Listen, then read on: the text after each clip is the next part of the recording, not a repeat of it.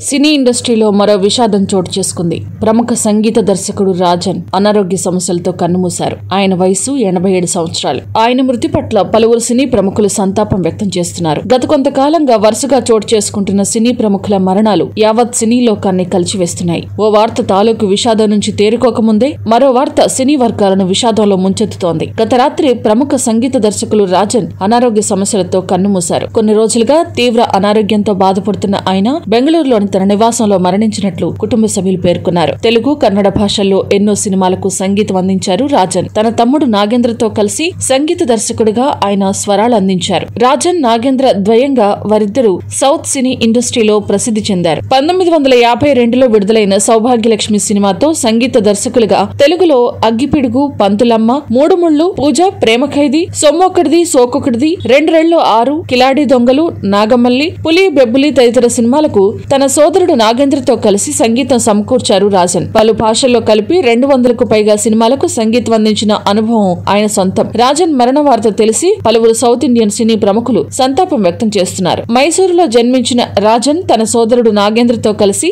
ఎన్నో మధురమైన స్వరాలను అందించారు. కన్నడలోనే కాదు తెలుగులోనూ ఆ సోదర ద్వయం ఎన్నో జనరంజకమైన పాటల్ని స్వరపరిచారు. పంతొమ్మిది వందల యాభై రెండులో వచ్చిన సౌభాగ్యలక్ష్మి చిత్రంతో వీరి సినీ ప్రస్థానం ప్రారంభమైంది. నాగేంద్ర పదేళ్ళ కిందటే చనిపోయారు. పంతొమ్మిది వందల యాభై ఏడులో విడుదలైన వద్దంటే పెళ్ళి సినిమాతో తెలుగు ప్రేక్షకులకు పరిచయం అయ్యారు రాజన్ నాగేంద్ర. మొదట్లో విఠలాచార్య సినిమాలకే చేసినప్పటికీ పంతొమ్మిది వందల డెబ్బై ఆరులో వచ్చిన పూజ సినిమా ఈ జోడీకి మంచి బ్రేక్ ఇచ్చింది. కన్నడ కంఠీరవ రాజ్ కుమార్తో తెలుగులో పాట పాడించిన ఘనత వీరిదే. వీరి చివరి చిత్రం చిత్రం పంతొమ్మిది వందల తొంభై నాలుగులో వచ్చిన అఆయి ఈ సినిమా. నవగ్రహ పూజా మహిమ అగ్గిపిడుగు ఇంటింటి రామాయణం సొమ్మొక్కడిది సోకొక్కడిది అల్లరి బావ నాగమల్లి అద్దాల మేడ నాలుగు స్తంభాలాట వయ్యారి భామలు వగలమారి భర్తలు మంచుపల్లకి మూడు ముళ్ళు రెండు రెళ్ళు ఆరు ప్రేమ ఖైదీ అప్పుల అప్పారావు ఈ సినిమాల్లోని పాటలు ఎంతో ప్రజాదరణ పొందాయి.